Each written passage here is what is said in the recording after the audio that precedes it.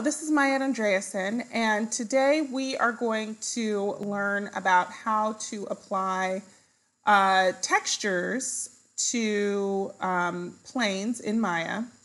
Um, and these are textures that have an alpha map to them. So uh, it appears as if you have a sculpted object, but in actuality, it's just a flat 2D image. So we're going to start off uh, with this tutorial by creating some simple fern leaves. Now I created the leaves in Photoshop and so if um, I go to my source images uh, folder here, we can see uh, the leaves. I have a PNG files. I also have Targa files. There's many different ways that you can attach um, uh, 2D textures that have uh, transparencies to them.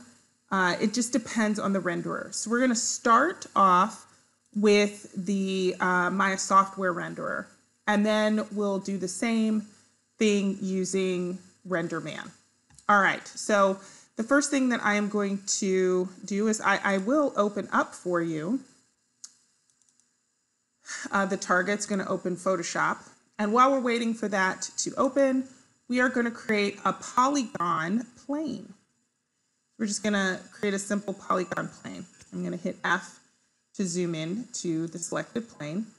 I'm going to go over here to my inputs, and I'm going to change the subdivision uh, width and height. So um, uh, also the height. So let's make the height uh, 3. And so let's make subdivisions three. Uh, the height and the width is going to be one. So we don't really need um, a lot of subdivisions here. Uh, the reason I have any subdivisions at all, because you, you don't really need any subdivisions, is because I am going to um, add um, a, a slight curve to these leaves, leaves in quotes, um, so they, they look a little bit more like leaves. So uh, we are going to go into component mode and we're going to select the edges here and just bring them up like that. Of course, we could also go to the modeling toolkit to select edges, vertices, faces, UVs, and the object itself. The next thing I'm going to do is change where my pivot point is. So I'm going to hit D on my keyboard. D is in dog. I'm going to press V as in Victor, which will allow me to grab the center point here and snap it to a new location, snap it to vertex. And then I'm just going to move this to roughly the middle of my object. That looks pretty close to the middle. I'm going to hit V again when I'm done. So now my object, I can basically rotate it. Um, I can move it right? All from uh, the center of one side of it. Uh, the next thing I'm going to do is I'm going to press X to snap to grid. And then I'm going to freeze transformations. So modify, freeze transforms. And delete my history. So I do have a shelf up here. Created, so I'm just easily going to delete history. All right, so before we go any further, let's save this. So I'm going to go File, Save Scene As. We're going to call this Fern Test 01. And now we're going to go to Photoshop. Let's take a look at this fern. So I have two different ones. Um, these are all hand painted by myself um, in Photoshop. Um, as you can see, it's just one file. Um, there's a yellow background because as you can see, the edging here is kind of, it's more yellowy. And when you create an alpha, um, which I'll go into in just a second, if it has a white background, what's going to happen is you're going to see a thin white line surrounding your, your object. Um, and that's going to get rid of the illusion that this is real. If we go to my channels, we can see what I'm talking about. So if I double click on this, this is my alpha. So what is an alpha? So um, it's basically a cutout. So the white here represents opaque. So that means it represents a solid. And the black represents transparency. Okay? So um, anything that is black will not be seen, and anything, it will be transparent. Anything that is white or solid will be uh, seen. So in this case, the thing that will be seen is my leaf. That's if you're saving things as a targa. In order to save the targa properly with the transparency attached or with the alpha map attached, you have to go project save as. And you want to make sure the targa is saved as 32 bit. So I'm not going to override it right now, but you definitely, there's going to be a little pop-up. It's going to ask, do you want to save it at 24 bit or 32 bit? If you are attaching an alpha map to your texture and you're saving it as a targa, you want to save it as 32 bit. If you don't want an alpha attached, you save it as 24 bit. Okay. All right, so now we are going to attach um, the, uh, the texture. Oh, actually, now we're going to lay out UVs. UVs are important. so we we attach this first, it, it might look funny. So um, I'm going to go to UV editing and just make sure my UVs are set properly. And it doesn't actually look like they are. So um, that leaf is going to take up the entire one-to-one -one square here.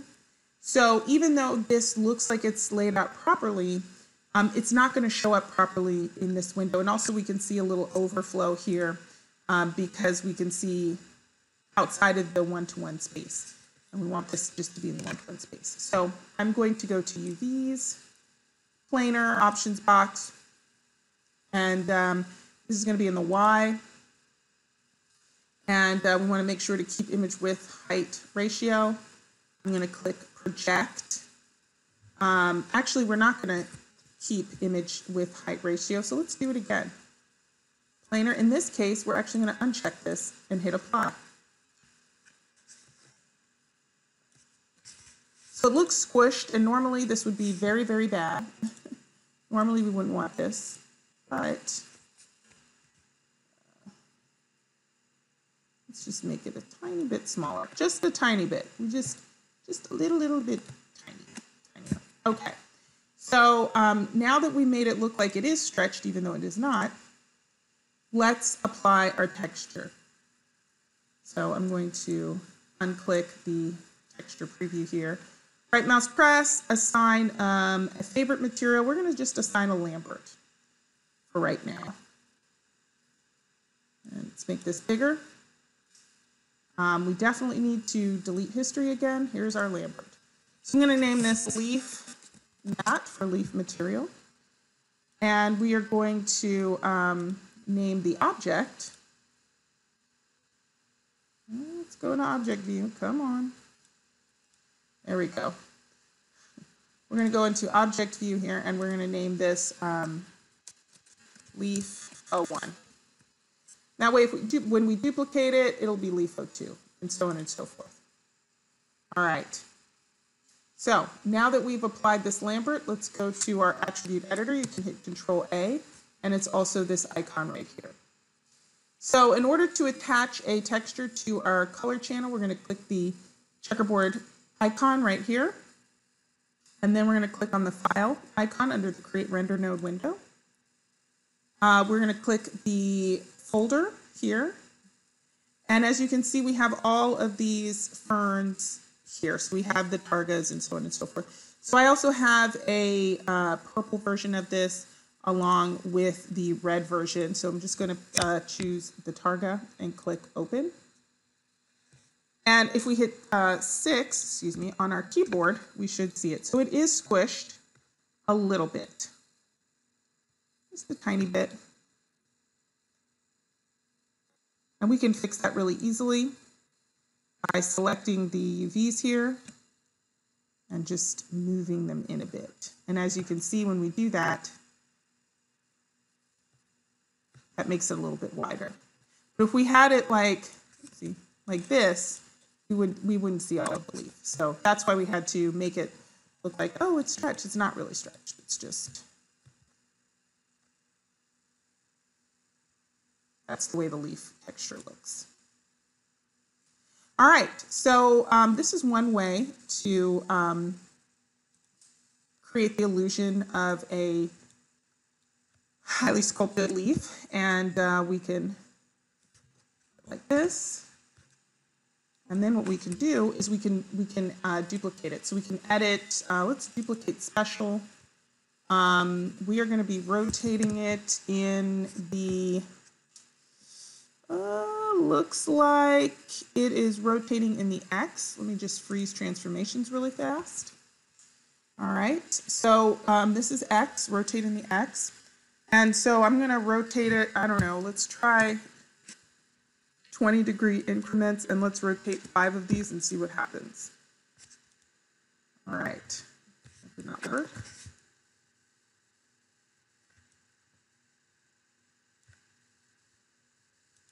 So let's try this again. Let's edit reset settings. There we go. That's why. Uh, rotate it 20. Let's do 5. Pop. Okay, that is the wrong direction. It's actually the, uh, when I froze transformations, it changed it from the X to the Z. Let's try it again. Nope, nope. All right. Guess it's the Y. Sorry about that. There we go. Okay, so 20 degrees, um, it's a little too close together. So let's try 40. Hit Z to undo and hit 40. Okay, so that's a little bit better. Uh, we almost have the amount that we want, but um, we need a few more. So I'd say we need mm, one, two, two or three more. So I'm going to up this from five to um, eight in terms of number of copies, and here we go. And that looks great. So we have quite a number of ferns created really quickly. Okay. And I'm going to go edit, reset settings, and close this. All right, so then the next thing that we can do to make this look just a little bit more realistic is we can start lifting uh, some of these. We can also shrink a couple more, bring them down. Let's bring this one up. Let's uh, bring this incrementally, make it a tiny bit smaller. Uh, rotate this down. As you can see, this is just a really fast way of um, making all of these look more individual. You could even go in and make a couple of them a little fatter, right? Just to add some difference to the leaves. Right? Make this one smaller. All right, so now we have um, a couple of these. Put this down just a bit. And uh, this one just a tiny bit smaller. All right. Maybe lift this up a bit more. And of course I can go in and I can um, make this even more dense. So I, I could select this guy right here. And uh, let's, let's uh, freeze transformations, get rid of the history on it. So this is leaf 03. If I really wanted to make this a lot thicker and add more um, leaves on the bottom, I could go to duplicate special. I believe this was in the Y, so it was like 40 degrees in the Y, rotating, and eight copies. And we could do this again. We can make them all smaller, bring them down. And um, what I want to do is actually rotate all of these up a bit. Also, they're a little too far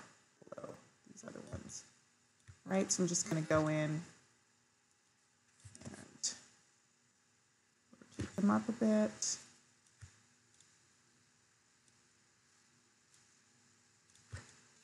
Um, the other thing we can do is select all of these and rotate them a bit like this, which is great.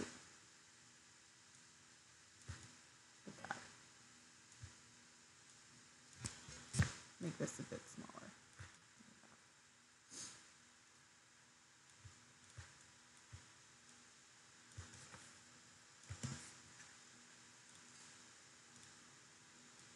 Bring this up. Bring this one up as well.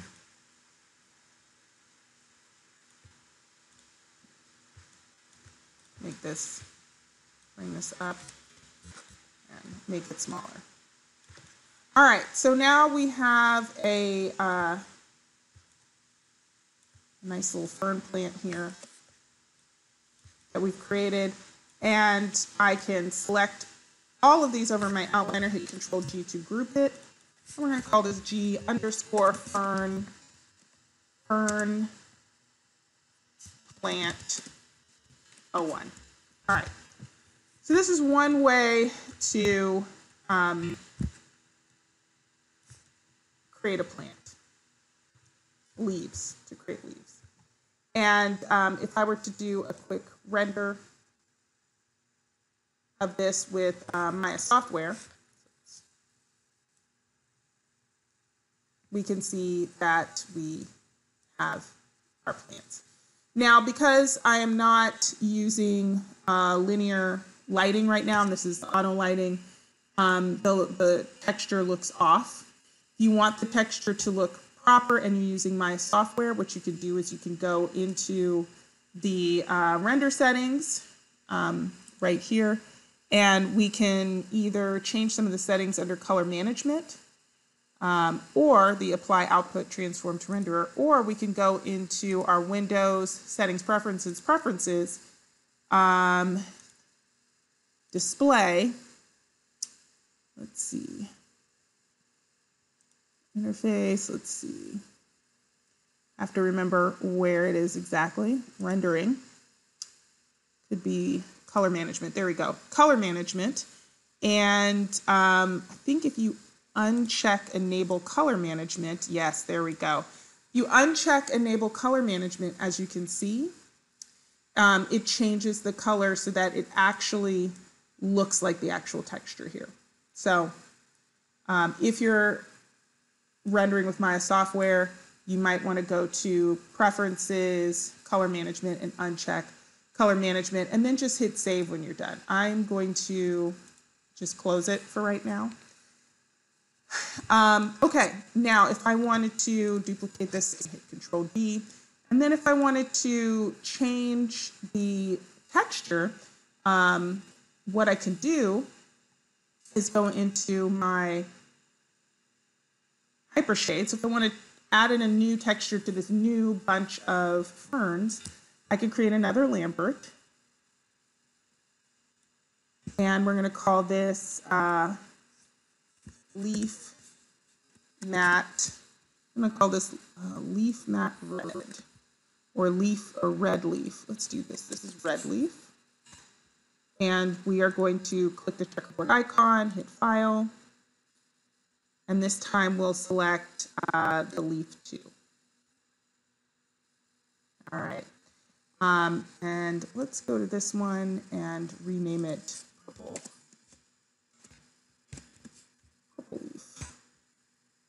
All right, so now if I want to change these textures, all I have to do is right mouse press, uh, assign existing material red leaf. And that changes all of these instantly. So pretty easy peasy. You can do this for trees. Uh, you could do this for um, any number of um, items.